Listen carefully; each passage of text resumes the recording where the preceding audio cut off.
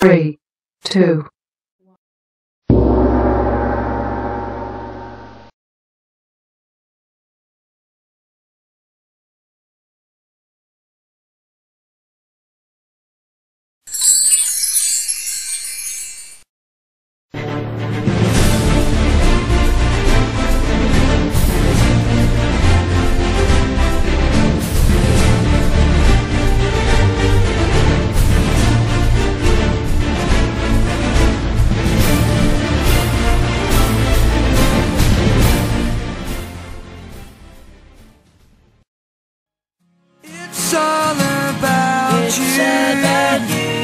It's all about you, baby.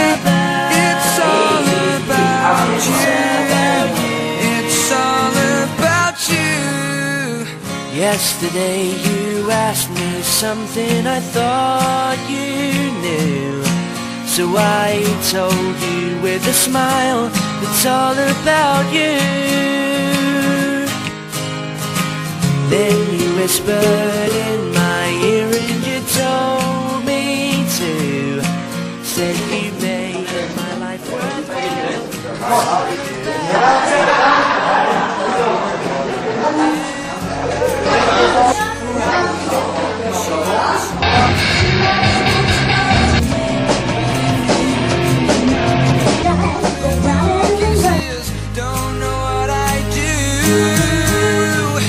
hold me close and say three words like you used to do.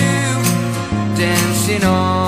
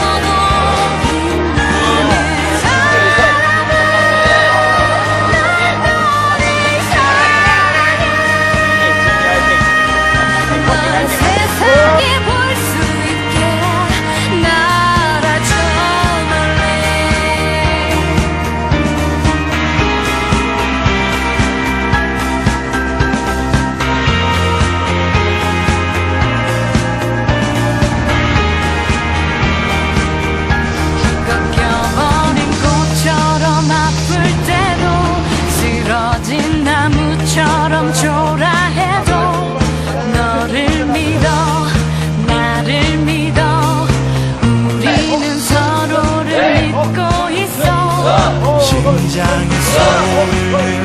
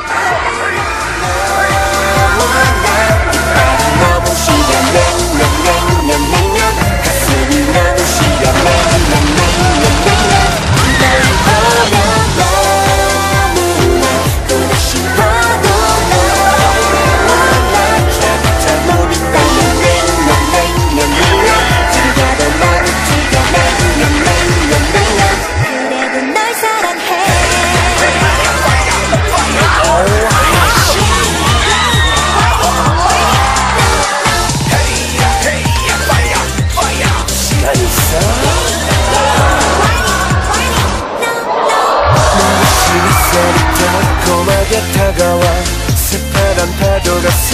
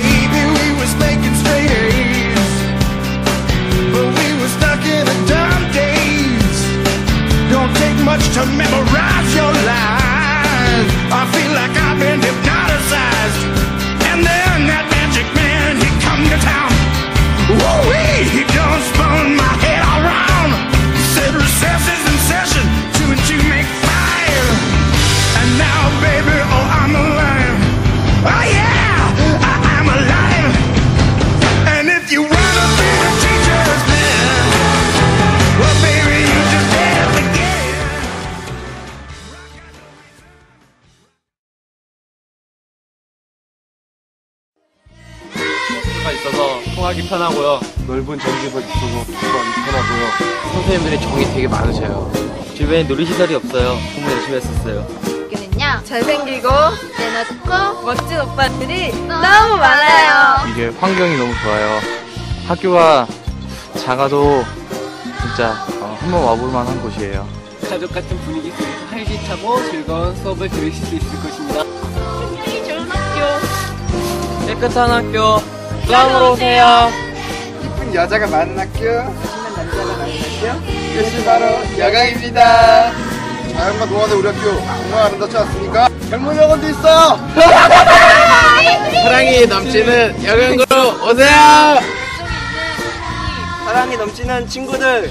제일 많은 학교 공력이 없는 학교, 영광으로 오세요